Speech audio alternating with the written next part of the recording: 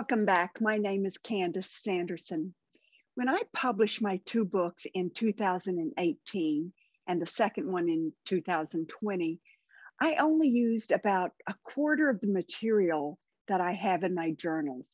So now and then I like to open my online journal and just scroll through until I hit some random page. And every time I do this, I'm pleasantly surprised. It seems that my experiences maybe had unlocked these passages to the non physical, but the doors were not necessarily open. I had not yet crossed that threshold to see what was on the other side. So, as I scan my journal, I'm discovering some real hidden gems from my past experiences. What I want to do today is to share something from July 21st, 2015. I was at Monroe Institute attending a program called Exploration 27, or we refer to it by just saying X27. Bob Monroe used the term focus levels to describe different states of expanded awareness. Focus 27 is what is often referred to as the park.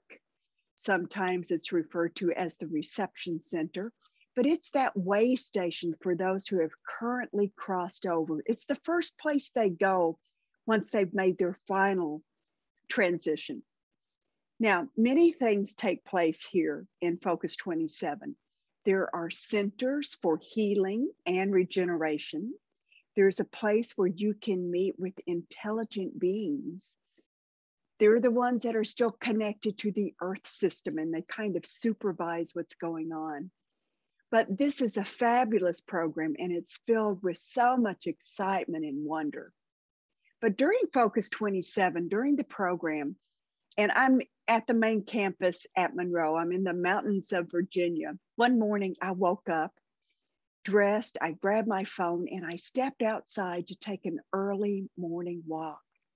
Mid July in South Florida, where I live, is scorching and so humid this time of year, but not so in these Blue Ridge Mountains. It was beautiful. It was literally a breath of fresh air as you just meet that beautiful, cool, damp morning breeze. No cars, no voices. I only heard the sounds of nature insects buzzing by, birds chirping. It was absolutely heavenly. All of a sudden, I was called to a cluster of grass, a clump of grass. And I approached it slowly. And as I did, I just marveled at these beautiful, glistening drops of dew that were like shining from these deep green blades on the grass. It reminded me of stars that twinkle against a moonless night sky. Each drop of dew seemed to beckon. It was just calling me to get closer and closer. And so, as I approached this clump of sparkling grass, I smiled because I knew the messengers were around. So, I opened up my telephone and recorded the following. But before I read the passage, since I'm going to describe something that happened at Monroe Institute, let me begin with Monroe's official disclaimer. These are my opinions and not representative of the Monroe Institute. Now, that being said, I'm going to share my disclaimer.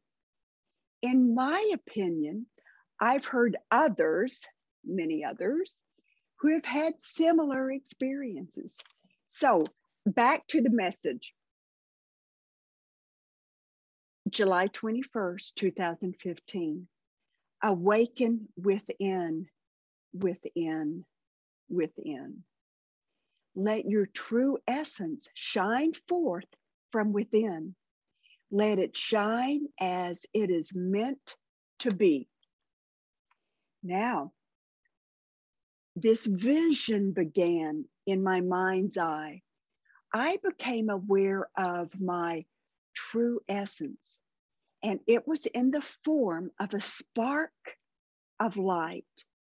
I saw and felt it as it began to shrink, and I realized my true essence melted like a puddle of liquid light, and I saw it pool at the bottoms of my feet.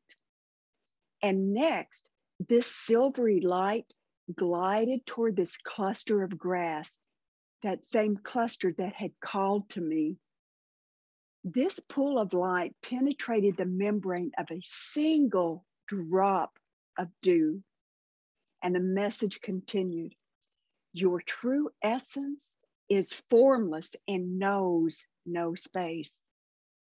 We are calling to you to come within to find that spark of who you truly are. Allow that divine spark to shine forth for the world to see. Be a beacon, calling, calling, calling. Calling those who are awakening, calling to those who are ready to listen. Shine forth, dear one, for this most sacred journey has begun. With those words, that drop of dew releases my essence, and I feel myself, my true essence, pop out of this sacred space of that glistening orb of light. I felt so alive, so renewed. And I gave my heartfelt gratitude and thanks for this experience. This happened on a Tuesday morning. So it was close to mid program of X27. I've been to enough programs at Monroe to fully appreciate the power of each and every program. Things happen with each program that you, you take with you, you bring home with you. You may not notice it in real time. I certainly didn't. I knew I was changing, but it was difficult to, to label the change. The specifics eluded description. And although I couldn't really define or explain what was occurring with each program, I certainly felt it. As X27 progressed that week, this drop of dew showed up in the exercises. Now, I have always been a note taker. And when I'm at Monroe, I just take these extensive notes. I reviewed them last week. And only then did I realize how significant the drop of dew was. This dewdrop actually became a means of transportation for me like in the vision, when I found myself, my true essence inside that drop of dew, the same thing happened in the exercise, but it was no longer just a drop of dew. It became this beautiful, crystalline, shiny orb. And it could float and carry me at will wherever I needed to go. It was truly a vehicle that was transporting me throughout these non physical realms of energy.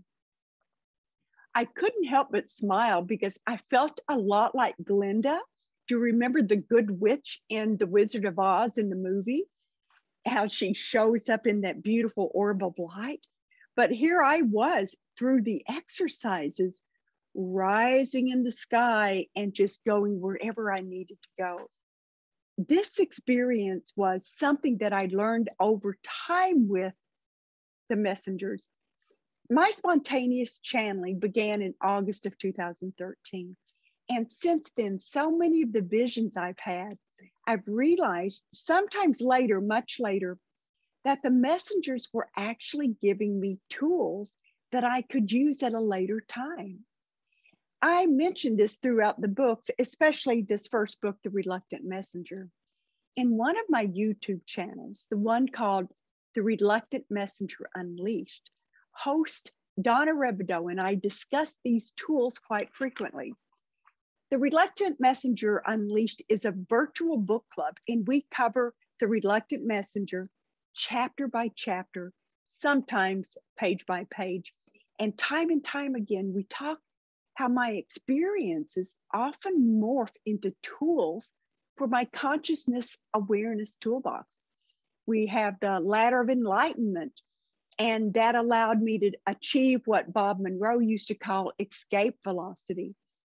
We learned about the POE, the point of existence, and how we can use that, we can expand that in order to access the past and the future. We learned about using different types of sacred geometry in order to travel in these non physical realms. And I could go on and on. But this message I had not realized that drop of dew was a tool. I certainly used it as such, but this has been in my journal. I forgot about it. But when this became a means of transportation, a vehicle that allowed me to explore with ease the park, Focus 27, I realize now I can use this at any time. I didn't have to be at a program at Monroe. I can use it to freely travel without effort. Now, that's another one that I'm going to put into my consciousness awareness toolbox. Now it's time for the backstory. I've included part of this in my books, but not all of it. And although this encounter that I had with the dewdrop was during a very early morning walk it was not the first message that I received that day, July 21st, 2015. At 4:44 that morning. Now, first of all, let's step back. Those are magical angel numbers, and I looked it up real quickly before I recorded this. And an online site said the angel number 444 represents that you may already have a strong connection with angels and source, and that you are on a path of spiritual awakening. Well, you know, that's true. This was 2015. I started channeling in 2013. And uh, when it also says you're on a path of spiritual awakening, I thought they got the awakening part right. It was 4:44 in the morning. Everyone should be asleep at that time what I'm going to do, I'm going to go directly to my journal because this is what had set the stage for my dewdrop encounter. I'm going to read directly from what I had written. 444, I woke up, I had my journal and a pen right next to my bed. That's what I always do when I'm at Monroe because you never know when something magical happens and you want to document it.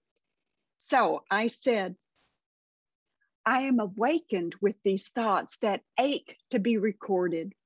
I gather my notebook and pen as the following spills forth from within. How do I explain the expansion of consciousness that I am experiencing this week? It is becoming closer to source, your higher self, angels, God, whatever words are comfortable with you to explain those sacred connections that your heart recognizes. Along with this comes a sense of freedom, of transformation. There is clarity on many issues and the mysteries of life. Now, first of all, I, I want to say something here. I don't talk like I awaken with these thoughts, not at 4:44 in the morning, and that ache to be recorded. That is so poetic. So I was not the one writing this. If I had been, I would have just written it. But this poetic language could only be from one source. That group of guides that I've known from the very beginning, the muses within. They're the ones who gave me my very first message about a flower. And I'm sure they are the ones who are pinning this through me. And also, did you notice when they talk about, they talk about um, whatever words are comfortable with you, all of a sudden they've changed the third person. So it's no longer, how do I explain this? So those are some, some big clues right, right along. But anyway, let me just finish this. Trying to put into words that which is indescribable, I am offered a few examples. Number one, there is lightness and an expansion of energy, which results in a freedom that is not known in most of our waking states. I am shown a beautiful, ripe peach. Our waking state is much like the pit contained within the peach. My center of awareness is now shifting from the pit to the outer skin of the peach. I now exist in a space between the individual minuscule hairs of the peach fuzz. This almost microscopic space surrounds me, freeing my existence from the self imposed confines it once knew. It's like having an out of body experience where you shrink to such a small size. And it reminds me of that movie, Honey, I Shrunk the Kids, where they're in, in this in their backyard and a blade of grass is this large. But I was like that with the peach fuzz. I was so tiny, but I realized I was not my physical body. But let me go on. The second example the second example uses an analogy of the challenges with cell phone reception. You wander about asking, Can you hear me now? Now, for those who have been around for a while, I think like back in the early 2000s, 2001, 2004, I don't know, there was a commercial that played all the time from Verizon Wireless. And, and this man was always saying, Can you hear me now? Can you hear me now? So this was, you know, part of that. Can you hear me now? And then the message, or they say, your call has been dropped. In an almost desperate attempt to regain what was lost, you pace back and forth, feeling the loss of that connection with each and every step. Suddenly, you stop mid step when you hear a voice from the phone there's a sigh of relief as you have known you have, quote, reached your calling. There is a sense of clarity, for now you are in perfect alignment with Source. You've made the connection. You have achieved oneness with the other caller. Now, I'd love this example because they took something that was so commonplace years ago, that commercial, Can You Hear Me Now? And they bring that to, to such a level where you realize being one with Source and being part of all that is, and that you, that beautiful unity when you have reached your calling we could actually go through this paragraph several times and see all sorts of analogies. But let's go to number three. You're traveling in the cold, the dark. You feel dense and heavy, trudging along. You do not know anything else, for this is just the way it is, the way it has always been. Then out of nowhere, you sense a change. It is nothing tangible, but you, for some unknown reason, are drawn to travel a different path. As you embark upon this path, your step quickens until you find yourself running towards some great unknown that just feels right you go with it. It's like you have been this large chunk of iron ore finding itself mysteriously moving toward a blacksmith's forge. You're carried by hidden tongues toward this warm, unknown source of strength and power. These hidden tongues have guided you away from your home and leading you to an unknown adventure. You are thrust into the open flames of the blacksmith's forge. Your cold, hard, dense body, what you have always identified as you, begins to change. You are no longer your cold, rigid, former self. You are malleable, flexible. The flames have allowed your molecular structure to change.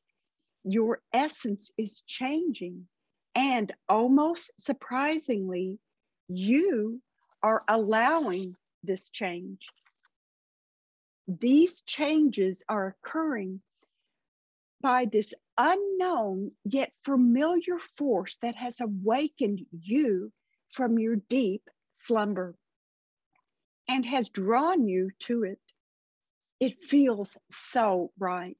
The end result is that your true essence reveals itself. You have become transformed from a cold, dense piece of heavy metal to a gorgeous sculpture, a piece of art. Your essence is now able to shine forth. There has been an energetic change in your basic structure, in your DNA. You are art. Your presence, your essence, evokes a sense of love and appreciation from those surrounding you. You inspire awe from those who see you. You yourself are in awe of your present state of grace. You give heartfelt gratitude to those invisible yet familiar forces that guided you upon this most sacred and divine path of transformation. In this state of expanded awareness, you begin to experience life on a quantum level, where, as Einstein reported, spooky action takes place. Through experiencing these most sacred states of awareness and closeness to Source, there is finally the recognition of oneness with all. An entanglement where we realize changes in one will affect changes in all, for we truly are just one. We are plugged in. We have arrived home as we allow our trueness to shine forth. We honor and open to this new awareness and allow our hearts to carry us forth upon this most holy path back to the oneness of all.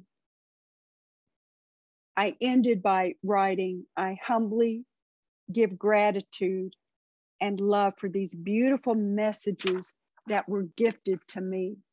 Again, if this was just me writing this, I would have said, thanks, thank you.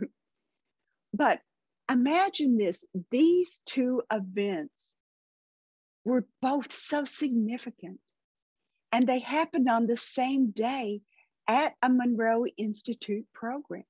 And these were not even during an exercise, but they were the result of the exercises, not only from Exploration 27, but from all of the Monroe Sound Science that I've listened to.